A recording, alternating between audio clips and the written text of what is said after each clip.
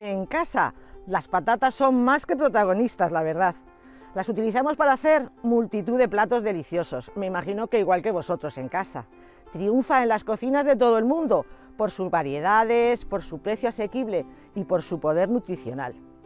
En Extremadura hay tantas casi como pueblos. Las patatas revolconas, la sopa verata, la morcilla patatera y, como no mencionar, a la tortilla de patatas que nació en Villanueva de la Serena, un orgullo para todos, donde le dedican una feria gastronómica maravillosa y encima tiene en su honor un monumento en el pueblo.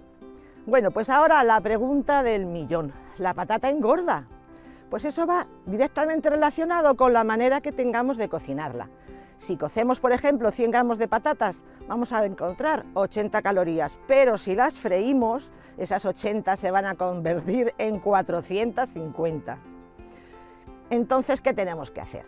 No es necesario sacarlas de nuestra dieta, sino cocinarlas de la manera más natural posible. ¿Y cuál es esa manera? Pues mirar, cocerlas con la piel y al vapor. Si las vamos a cocer, por ejemplo, sumergiéndolas en agua, pues para que no pierda ese potasio, esos minerales, la vamos a cocer también con piel. Ese es el caso de nuestra receta de hoy. Vamos a necesitar patatas pequeñas con piel, por supuesto ecológicas, para evitar ingerir ningún tóxico. Previamente las hemos lavado y cepillado. También un buen manojo de hierbabuena, un poquito de sal marina gruesa y un buen chorro de aceite de oliva ecológico virgen extra. El proceso es tan sencillo como ponerlo todo en una olla. Vamos a empezar con el agua en frío para evitar que la piel se nos pueda romper y haya un contraste fuerte, poniendo primero un buen, como digo, puñado de sal, ¿eh? sin miedo. Ahí. Luego echamos nuestro manojito de hierbabuena. Mm, Dios mío. Ahí. Y ahora ya vertemos las patatas. Ahí está todo. Y ahora le vamos a echar un generoso chorro de aceite ecológico de oliva. Pues bien, le vamos a meter ahora calor. Y estas patatas, como son pequeñas, se cocinan muy rápido, así que yo creo que en un cuarto de hora las vamos a tener ya preparadas.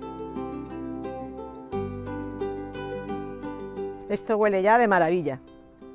Desde luego esta es una receta estupenda para aprovechar esas pequeñas patatas que son tan difíciles de pelar, pero que sin embargo hoy son protagonistas en textura y en sabor. Vamos a ver si están, yo creo que sí, por su aspecto, pero sabéis, pinchando sabemos fácilmente si están... Eh, a ver, perfecto. Tiernas o no. ¿Las podemos tomar solas? O como un acompañamiento. Desde luego, más sencillo, imposible. Y más rico, también imposible.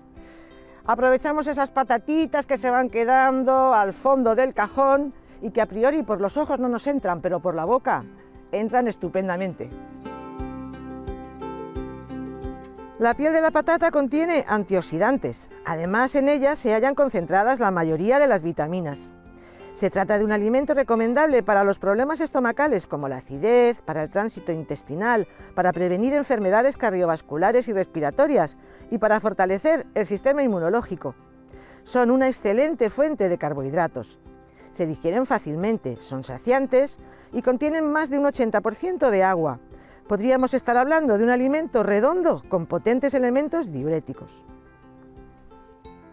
Las patatas, desde luego, nos aportan más minerales y vitaminas y muchas menos calorías de lo que normalmente pensamos. Y es que no me imagino una cocina sin patatas. Lo tienen todo bueno, por fuera y por dentro. Las peladuras las podemos añadir al compost, hacer con ellas infusiones, para aportar, por ejemplo, en la huerta potasio a nuestros vegetales, incluso para cicatrizar la piel. También podemos utilizar para el riego en la huerta o en las macetas el agua de haberla servido. No la de hoy, ¿eh? en esta receta hemos utilizado aceite. Bueno, pues además de esos usos culinarios y en la huerta, también se utiliza y mucho en la industria. Por ejemplo, en la industria papelera, para hacer embalajes de cartón, papel de prensa. Bueno, la reina, la reina mm, en la cocina.